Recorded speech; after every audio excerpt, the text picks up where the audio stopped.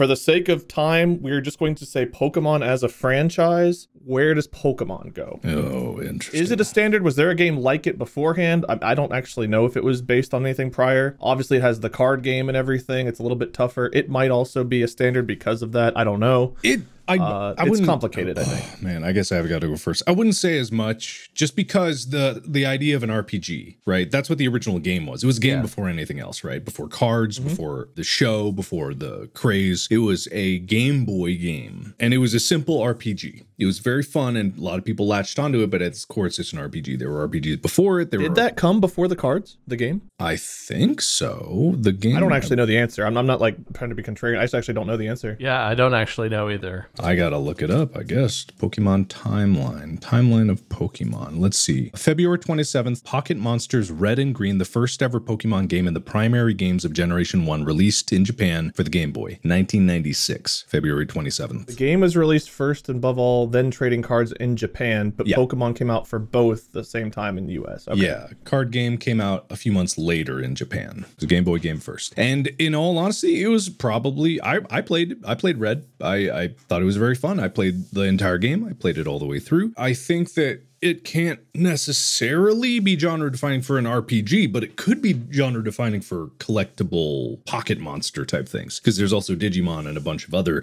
games that are like even uh, uh what- gacha games. Aren't they technically kind of like Pokemon? Not unlike, yeah. Yeah. A lot of them are, yeah. You go and you need to collect different things and use them in different scenarios, yeah. Yeah, if we place uh, Pokemon in anything but you know a very high tier or in a section of its own, people are going to roast us alive.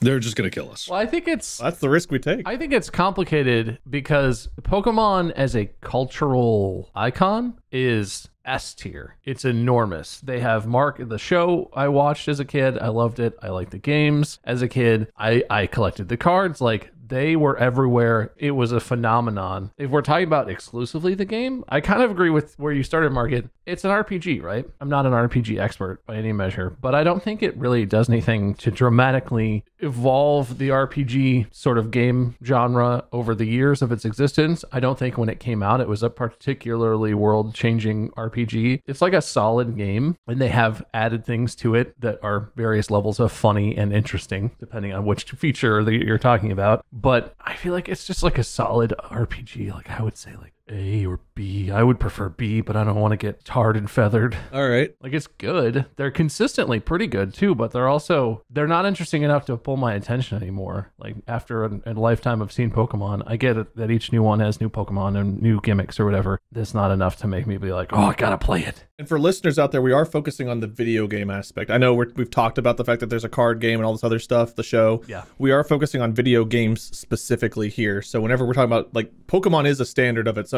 for what it is, but I think the video game itself is what we're focusing on. Yeah, overall culturally, it's huge. I like it. I'm not obsessed with collecting or anything, but Yeah. it's a huge thing. But the games themselves are like a part of that for me. Not really. The games don't stand out that strongly on their own. Yeah, it's it's kind of like how do you even talk about like one specific game because there are so many games. I think you kind of have to put it in its own category, or else you know there's really no fairness to it. I would equate it to if if you love Star Wars, there are st- like thousands of Star Wars books, canon and non-canon. There are a variety of games.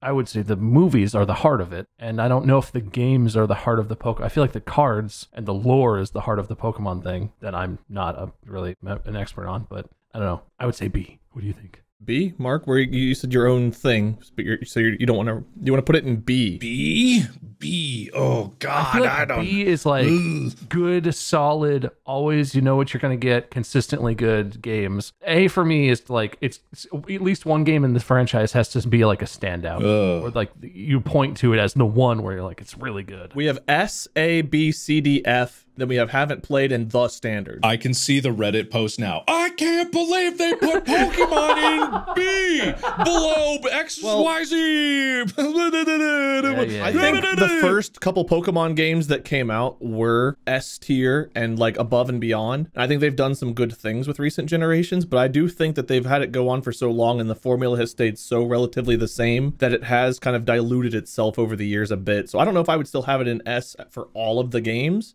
but I, I do think it's I would have it probably A myself. Though my rating doesn't matter here. It's you two. Mm, yeah. I mean, to me, I don't really care for Pokemon very much, but even I have to acknowledge that it is kind of like it set a standard. But I mean, I guess it it set a standard that nothing else kind of like entered into, so it kind of just like created its own little corner. I mean, I don't really like the games. I would call it B.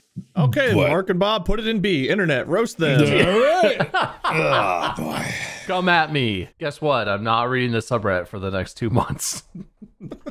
All right, done and done. Excellent work, guys. I can't wait to not be involved in that rating. All this is Wade's fault. Don't worry about it.